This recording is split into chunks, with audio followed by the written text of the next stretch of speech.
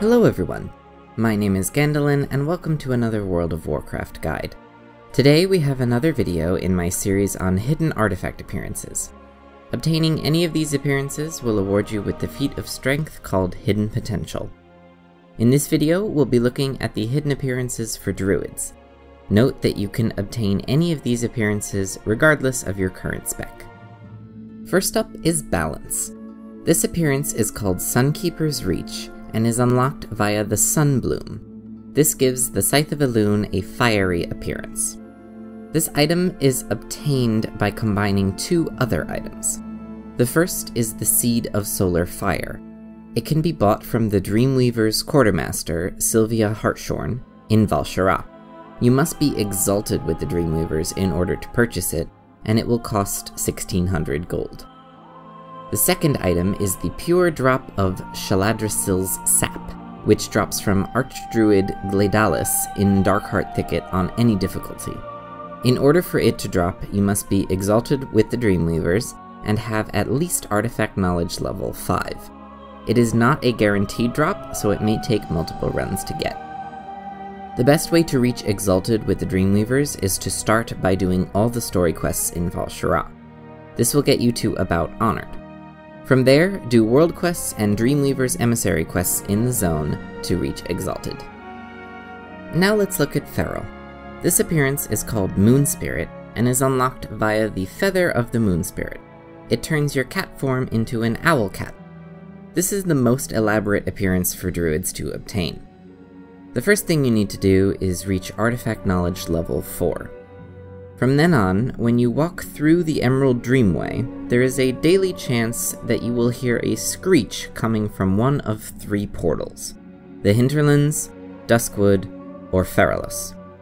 If the daily roll is successful, you will see an emote in chat that indicates which portal it's coming from.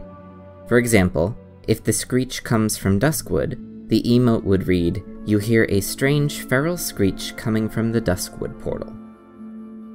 Once you see one of the emotes, go through the indicated portal.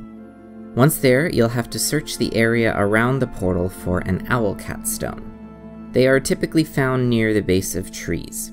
Once you find one and click it, you will receive the Mark of the Moon Spirit buff, and see another emote that says, You hear something dart away behind you, and then just silence.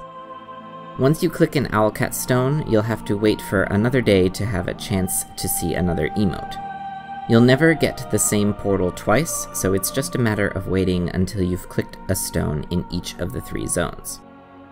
Once you have clicked all three stones, return to the Emerald Dreamway. In the center of the zone, you will see Ella Lothan, the Owlcat Wild God.